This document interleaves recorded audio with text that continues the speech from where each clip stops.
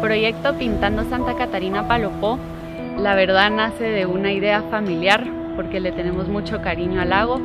La idea es simple, hay dos artistas reconocidos internacionalmente quienes han pintado comunidades en otros países del mundo y ellos han comprobado que al mejorar la estética de un lugar mejora la calidad de vida. ¿Por qué? Porque se fortalece un sentido de pertenencia, se crean microempresas, porque el lugar se convierte en un destino y mejora la calidad de vida y eso es un gana-gana.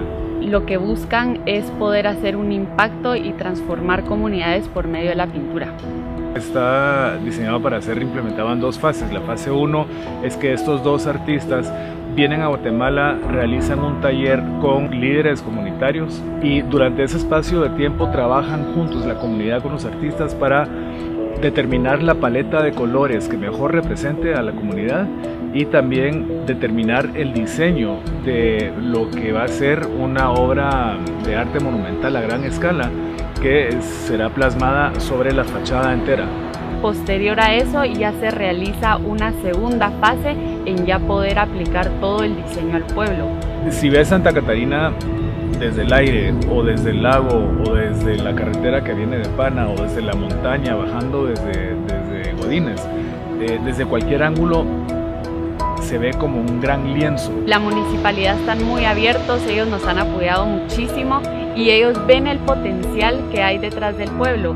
Coordinando este proyecto con los amigos del lago, se ve un pueblo nuevo a través de los colores. La Asociación de Amigos del Lago de Atitlán lleva más o menos 20 años trabajando en la conservación del lago de Atitlán en las comunidades que están alrededor del lago. Pintando Santa Catarina representa un proyecto de desarrollo integral. Lo que quiere la asociación es fomentar el desarrollo del pueblo, fomentar el trabajo, el turismo y sobre todo que sea el primer paso para que el pueblo de Santa Catarina se vuelva un ejemplo. Hi, my name is Mary. I am from Santa Catarina, Palupo.